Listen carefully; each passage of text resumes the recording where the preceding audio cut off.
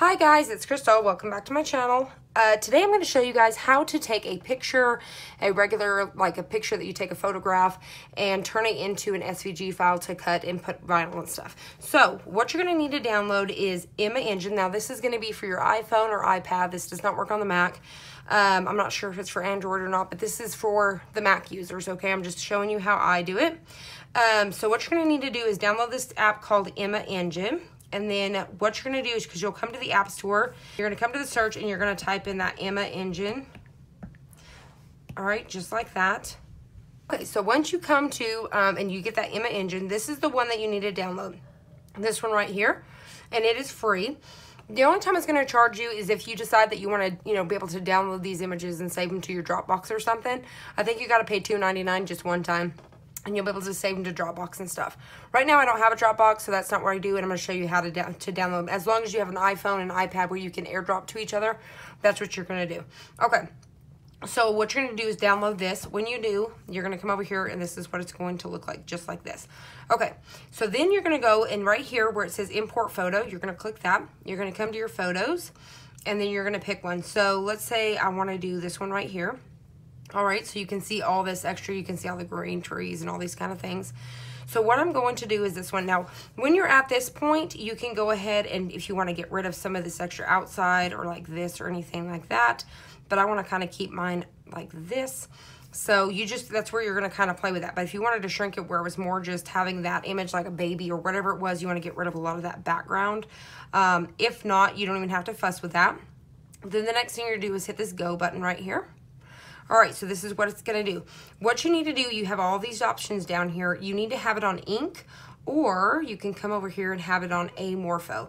I found that ink works the best, so that's what I have it on. Then you're gonna have these four little dots right here. And it's probably hard to tell right now, but one is called Detail, Threshold, Stroke, and Freckles. So what you can do is you can start. So if you're not happy 100% with the way that this is, don't worry about the background because I'm gonna show you how to get rid of that in just a minute. So what you're going to do, you're just mo mostly focusing on the face if that's what you're doing there. The, the So say you're just going to take them and just kind of play with them. You can see that cleans it up just a little bit more.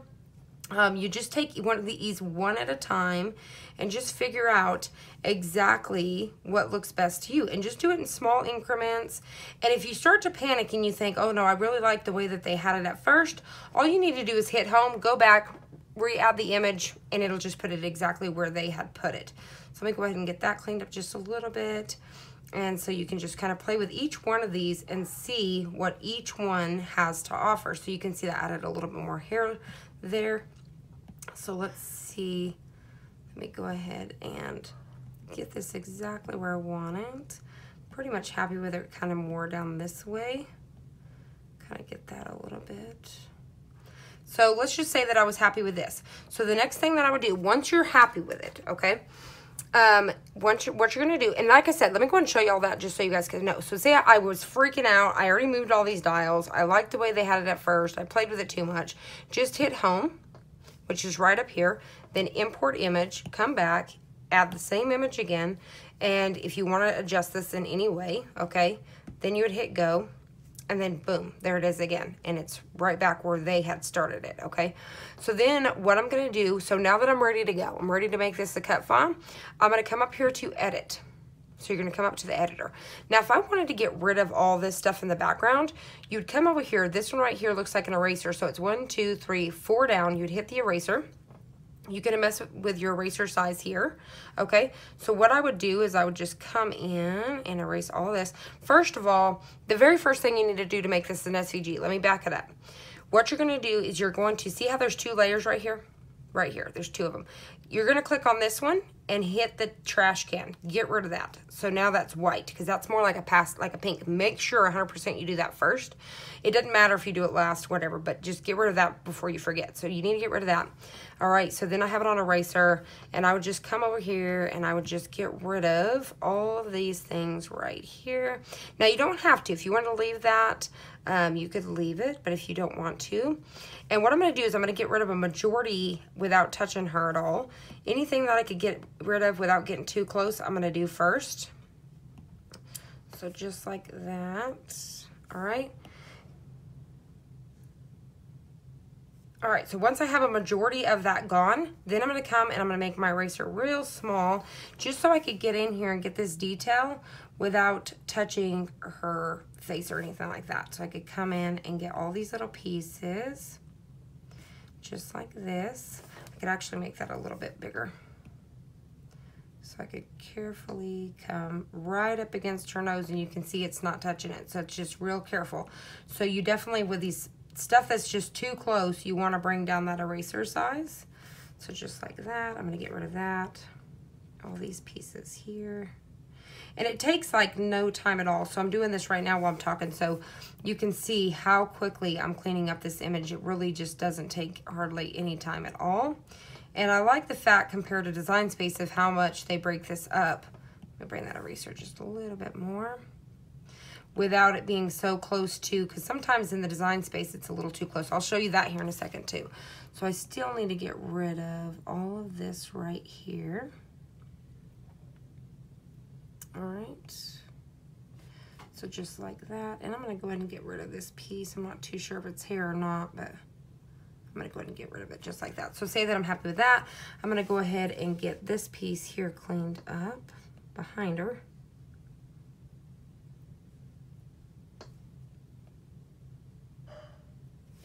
All right, so just like that. So now I'm happy with it. It's an SVG. What we're gonna do is I'm going to come down here where it says share. So I'm gonna hit this little triangle thing here.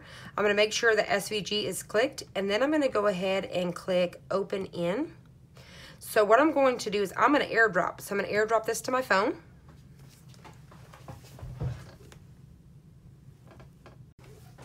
Okay, so now I have airdropped it to my phone. You guys couldn't see that, but all I did was airdrop it to my phone. So if you guys know what I'm doing, what, what I'm talking about that. And if you're, say your kids have a phone, but you don't have like, cause if, like I have an iPad and a phone, so I can go back and forth. If you don't have two things that belong solely to you, but your kids have one, send it to their iPhone and then send it from their iPhone back to yours, if that makes it. It's real super fast, if you know what I'm talking about with the airdrop. Okay. So, and then you can also airdrop it to your iMac and then send it, you know, then you'll have it for design space there as well. Okay, but what I do is whenever it asks me to save it to, once I airdrop it and ask me where to save it, I save it to iCloud Desktop. That's where I save it. Okay, so now here's my image. So what I'm gonna do is I'm gonna come back out, go to Cricut Design Space. I'm gonna go to New Project, Replace. Okay, so I'm gonna go to Upload. This time, instead of selecting from photos, because it's not going to your photos, it's going to like your saved files because it's an SVG, go to Browse Files and then you're going to see that it's right here, whatever you named it if you did name it, but mine's just whatever it saves as. All right, so then I'm going to save it as fishing. All right, done. And I've done this a few times, so, but you can see sometimes you can't really see some of this detail to get rid of it. Um, so what I do is, so you can see it doesn't even have you like do all this stuff because like normally when you bring an image in, because it's already an SVG, so don't have you like erase stuff. So um, what you do when you bring it in here, if I forgot some of these little pieces here, because you can see that it's an SVG because you can see back behind. I do this every time. I forget to unlock that. Lock that back. Okay. So you can see these squares behind it so you know that it's an SVG. But what if like, you know, when I was doing it, let me bring it down. So I got this little spot here that I missed, a couple tiny pieces here. All you have to do at this point is go to actions. You can either go back to it and clean it up or go to hide contour and then I can zoom this in really good to the spots and all I gotta do is click on these little pieces and you can see how long it's taken me. This is a super fast process so it really doesn't take much to get this done. All right and then so what I would do is just go ahead and click on all these pieces that I don't want so I could come there's a tiny one here and I think there was a couple tiny ones up here. And then even like you know I've got a couple pieces back here I don't like all right, I could come here. All right, and then back behind her, there was a few pieces. Nope, that would take all that away. So I could click on some of these. Some of these I won't be able to take away because it would take away the whole kit and caboodle. But I could always take like a square and get rid of those. So like see if I wanted to clean this up just a little bit more, I'd just take shapes. i take a square here. Bring this down so I can see my square all right? So then what I would do is I would take a square and kind of line that up just like that. Let me rotate it just a little bit. Something like that. Select those, come to actions, hit slice, and then I'd be able to get rid of pieces like that that I wouldn't be able to get rid of. Then there's a tiny dot I could go back in, but there's your SVG, and I could come back in in that contour and get rid of a few of these pieces here that I don't like. I just hit hide contour again, kind of zoom in, and I could get rid of all, whoop, almost got rid of her face. let's see, undo, undo. Okay, there we go. But either way, you get the point. So like I said, so you can just take that contour and really kind of clean that up however you want to.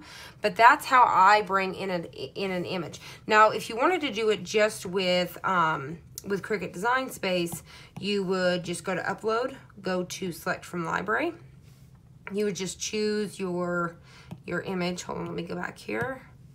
All right, so say that I'm going to do that exact same picture because I'm going to show you the difference. All right, so what you would do, it would come in just like this. You would hit remove. So what I'm going to do is click on all the stuff that I don't want. I'm not too concerned about the background because I can take my eraser, but I would just start clicking on some of these things like this. All right, so you can see how it took some of her face, but it's still correct. You can see that it's going to take it and be the lines that it needs to be. All right, so what I would do is, this is what this line's for. So I could come and go to kind of bring back my, my darker lines just a little bit. So if you watch this image here, you can see how I can bring some of that back. So I would just toggle with this a little bit till I was happy with the um, the thickness of what it's taken away, if that makes sense. Um, and I could play with that just a little bit more. Let me kind of play around with this for a second so I can make sure I got the best information for you guys. All right, so see how much better that just came in? Um, so what I could do is just hit our hair here. All right, so just keep clicking on stuff so I can bring it in to create this whole thing here. All right, once I get to a certain point, um, what I can do, let me wait for that. Okay, so once I get to a certain point, all I gotta do is hit eraser I could bring my eraser as big as I want to. At first, I have it really big when I'm away from the image, same thing as I did with the other thing, just because it cleans a lot faster. So I could come in and clean up a majority of this stuff without bumping her. All right, and then I could come back in with my eraser, make it real small, and come in and just really carefully clean up everything.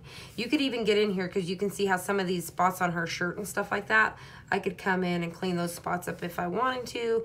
I could come in instead of clicking this anymore and just completely clean up her shirt if that if you can see what I'm talking about there.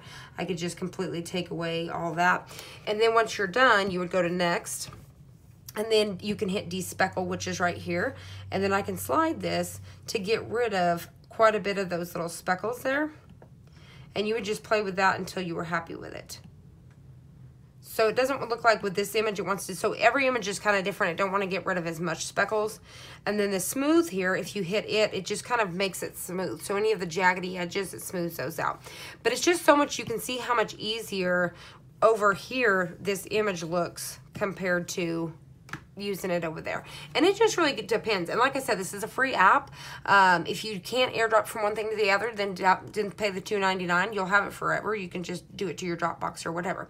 So I hope you guys enjoyed this. I hope you found it helpful. If you did, please hit the like button down below and subscribe. And I'll see you on the next one.